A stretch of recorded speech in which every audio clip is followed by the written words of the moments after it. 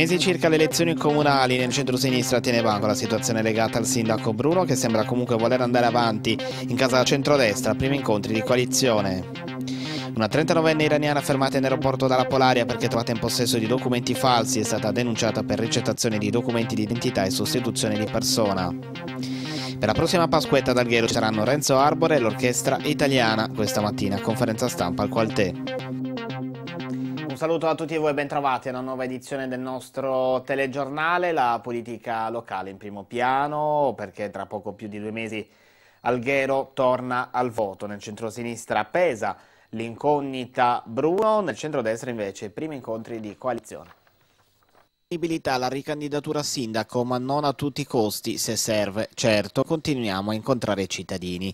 Così il sindaco Mario Bruno qualche giorno fa sul proprio profilo Facebook, eh, da una parte ha elencato gli ultimi atti e progetti da portare in aula e dall'altra ha messo pressione alla propria parte politica. Rimandare ancora di settimana in settimana l'incontro tra forze politiche di centro-sinistra, di centro e di sinistra che devono presentarsi insieme alle elezioni non serve, o meglio serve solo alle forze politiche di centro centrodestra e 5 Stelle che nel frattempo si organizzano, sottolineato Bruno. Io ci sono, ma non a tutti i costi, ha poi aggiunto, solo se serve, se non viene fuori un candidato migliore, magari capace di aggregare più di me e di vincere le elezioni. Ci sono, ma le forze politiche diano segnale di volersi incontrare e decidere coi metodi che vorranno senza perdere ulteriore tempo. Alcune forze politiche di centro-sinistra in realtà si, ci sarebbero già incontrate, Partito Democratico, Campo Progressista e UPC, ma anche il Partito dei Sardi. Questi ultimi vorrebbero, ma anche gli stessi Dem come noto, evitare un Bruno bis, ma le possibilità che anche in questa occasione il centro-sinistra si presenti spaccato sono concrete. Di certo in caso di ricandidatura Bruno non potrà contare sull'UDC, forza politica determinante per la vittoria nel 2014, tornata ora nel centro-destra. Proprio questa settimana c'è stata la alla prima riunione di coalizione. Si ripartirà dalle liste che alle regionali hanno raccolto insieme oltre il 50%. Questo è il senso della nota inviata ieri da Forza Italia, UDC, Pisdaz, Riformatori, Fratelli d'Italia, Sardegna 2020, Forza Paris, Energie per l'Italia e Sardegna Civica. In attesa del contributo di tutti i partiti, alcuni dei quali assenti perché impegnati in incontri interni per definire le strategie complessive su tutti i comuni sardi chiamati al voto, le forze politiche del centrodestra, sardista, autonomista e civico hanno avuto un primo incontro nel quale si è condivisa la necessità della massima unità di tutte le forze che si oppongono all'amministrazione Bruno per vincere le elezioni e dare ad Alghero un'amministrazione che dia risposte concrete ai problemi accumulati in questi cinque anni di sterile propaganda, si legge. È stata condivisa la necessità di creare un fortissimo collegamento con la nuova amministrazione regionale che si sta per insediare, ponendo al centro il rilancio di Alghero di tutto il territorio del nord-ovest della Sardegna, abbandonato dalle amministrazioni di sinistra. Nei prossimi giorni, fanno sapere le forze politiche. Nella nota si completerà lo schieramento che ha vinto le regionali, anche con l'apertura e l'inclusione di ulteriori soggetti politici che vorranno contribuire alla rinascita della nostra città. Una coalizione largamente rappresentativa, concludono, capace, fin dalla sua genesi, mesi di porre basi concrete all'attività programmatica e a quella squisitamente politica che culminerà nella proposta alla città di una figura capace di fare sintesi e rendersi interprete delle istanze di coalizione. Atto di arroganza senza eguali, così il consigliere regionale uscente Marco Tedde definisce la deliberazione con la quale nei giorni scorsi il direttore generale di ATS Moirano ha sciolto gli otto dipartimenti salute mentale e dipendenze e ne ha istituiti altri tre, di cui uno per il nord, uno per il centro e uno per il sud Sardegna. Tre nuovi dipartimenti che dovrebbero essere dotati di 19 strutture complesse e 4 semplici, con altrettanti primari in relazione ai quali ha fatto la selezione e individuato gli idonei. È evidente che siamo in presenza di un vero e proprio atto di belligeranza contro il presidente Solinas e la maggioranza di centrodestra, sardista e civica che ha vinto le elezioni ponendo al centro dei suoi programmi la riforma della sanità sarda e la cancellazione dell'ATS, denuncia l'esponente forzista. Secondo l'ex sindaco, Moirano dovrebbe immediatamente revocare la delibera e interloquire con Solinas al fine di ricevere indicazioni e direttive che gli facciano intravedere il nuovo corso nel governo della sanità sarda. Non è accettabile che un funzionario pubblico prenda letteralmente a calcioni i progetti politici di una coalizione che ha ottenuto da parte dei sardi l'investitura per governare la Sardegna e riformare la sanità. Chiude Tedde. E una 39enne iraniana è stata denunciata alla Procura di Sassari per ricettazione di documenti di identità e sostituzione di persona. Qualche giorno fa ha cercato di imbarcarsi sull'aereo per Londra con un passaporto falso, ma è stata mm, fermata dalla Polari, la polizia di frontiera aerea di Alghero. Partita da Istanbul nei giorni scorsi era intenzionata a raggiungere il figlio a Londra. Al check-in dell'aeroporto di Alghero ha mostrato agli agenti un documento rilasciato in Spagna e intestato un'altra persona. La donna aveva con sé anche una carta di identità rilasciata dallo Stato della Georgia che riportava la fotografia di una persona che, seppure somigliante, non corrispondeva a lei. Al termine dell'attività di indagine la donna è stata segnalata all'autorità giudiziaria competente e i documenti in suo possesso sottoposti a sequestro. Inoltre è stata invitata a presentarsi in questura a Sassari per i provvedimenti amministrativi a suo carico. Ci fermiamo adesso per una prima pausa.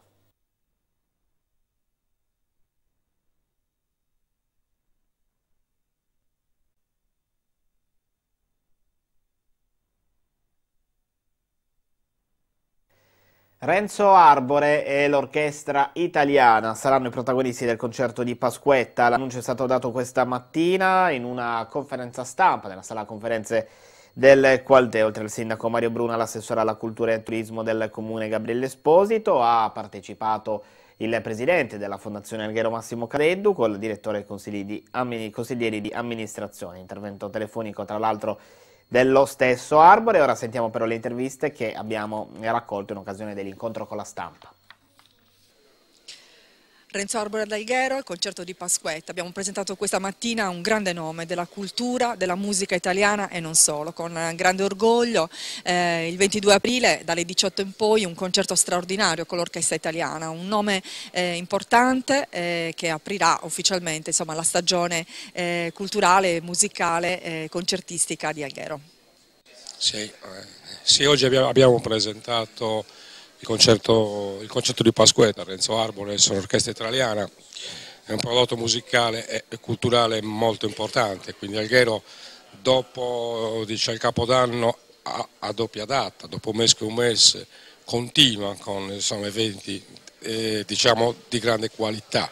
Lo presentiamo oggi, un mese in anticipo, quindi diciamo, per tempo in modo tale che ci possa diciamo, consentire un simile prodotto anche diciamo, agli operatori, eh, del, agli operatori, operatori diciamo, turistici del territorio di poter eh, insomma, vendere la città e soprattutto, e soprattutto quel periodo, quindi col concerto di Pasquetta si apre tutta una serie di eventi che continueranno col Barnassan con Mariapoli che sono due eventi musicali etnici dice internazionali per poi continuare l'Out Event che è un evento molto importante che si svolgerà qua in città sul, sulla nautica ed è un evento di carattura internazionale.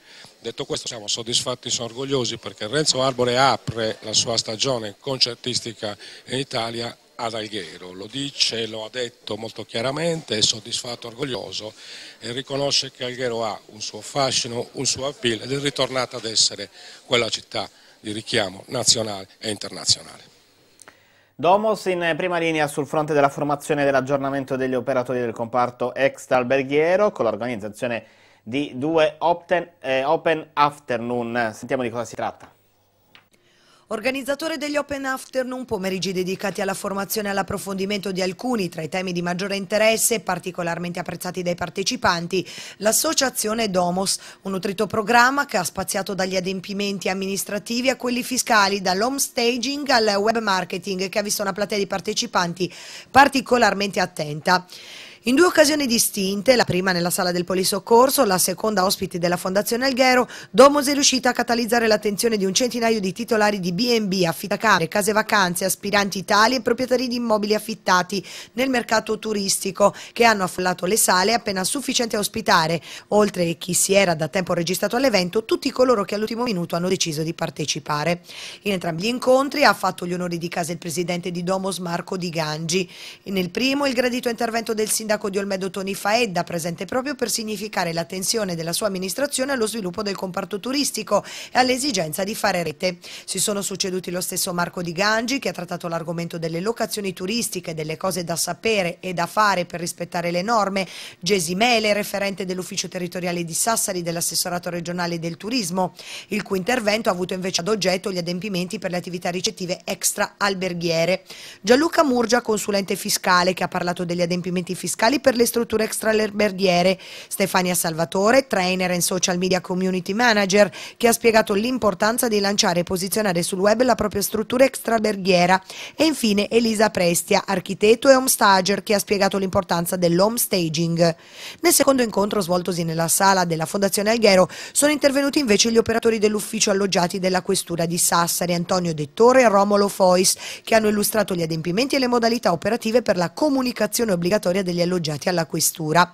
Il responsabile dell'ufficio delle politiche familiari del comune di Alghero, Mauro Ledda, che ha illustrato i disciplinari per le strutture ricettive che vogliano orientare la propria offerta verso il segmento del turismo familiare, la funzionaria della SECA Giusi Maltana, che ha invece tratteggiato gli adempimenti e le modalità per la corretta gestione dell'imposta di soggiorno e infine Marco Di Gangi, che ha spiegato come adempiere tramite la piattaforma SIRED all'obbligo di comunicare per fini statistici alla Regione e all'Istat i dati relativi agli arrivi e alle presenze degli ospiti delle strutture e degli appartamenti. Il prossimo appuntamento di Domos, dai contenuti estremamente ricchi, è previsto per il 20 marzo prossimo, ma sarà dedicato esclusivamente alle associati. La Confcommercio informa tutti gli interessati che sono stati riaperti i termini per la presentazione delle domande di iscrizione ai percorsi formativi previsti nell'ambito del progetto Sfera, strategie formative per l'economia rurale e l'ambiente. Due i percorsi previsti, il primo dal titolo Management del turismo sostenibile avrà una durata di 630 ore, si svolgerà sia ad Ozieri che a Bonorva. Le domande di iscrizione devono essere consegnate a mano, inviate tramite PEC o raccomandata, andata ritorno entro la giornata di oggi. Il secondo, dal titolo Organizzazioni di servizi per il turismo sostenibile, ha una durata di 150 ore, si svolgerà a Tiesi. Le domande di iscrizione in questo caso devono essere consegnate a mano, inviate tramite PEC o raccomandata andata ritorno entro e non oltre le ore 18 del prossimo 22 marzo. Per ogni informazione a riguardo, gli uffici di Performa Confcommercio e degli altri partner di progetto restano a disposizione di tutti gli interessati. Ci fermiamo ancora per qualche istante.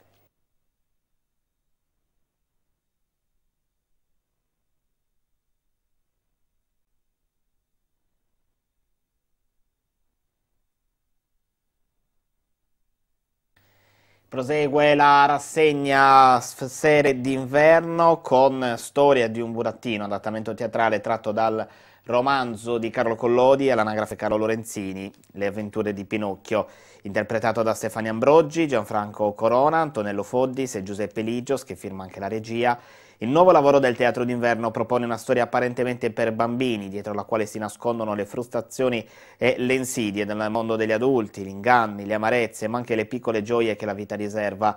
Un Pinocchio crudo, quello raccontato da Collodi e che sul palco del Teatro Civico si propone in una veste insolita, a cui fanno da cornice le musiche originali composte ed eseguite da Daniele Barbato Bo il disegno luci di Luca Usai e gli accessori di scena di Marco Velli. Lo spettacolo, già in replica in mattinée per le scuole nell'ambito del progetto T per T, Teatro per Tutti, sarà in scena quest'oggi e poi domenica 17 marzo alle 21. Informazioni e prenotazioni al numero 388 57 21 808. Chiudiamo con eh, un avviso, una nota importante perché l'Avis di Alghero, in collaborazione con la Scuola Calcio Antonello Cuccureddu, il Catalunia Calcio e il Centro Trasfusionale di Alghero hanno organizzato una raccolta di sangue per domani, sabato 16 marzo, dalle 8 alle 12 nel campo di Maria Pia, gestito proprio dalla Scuola Calcio Cuccuretto. Sarà presente l'automoteca con l'equipe medica dell'Avis provinciale, pronta ad accogliere tutti coloro che vorranno donare il sangue. L'auspicio dell'Avis di Alghero e degli organizzatori è di un'ampia partecipazione, considerando che siamo in un momento particolare, caratterizzato da un calo nelle donazioni nell'ultimo periodo. E per oggi è tutto, il nostro telegiornale torna ovviamente domani, grazie per essere stati con noi e arrivederci.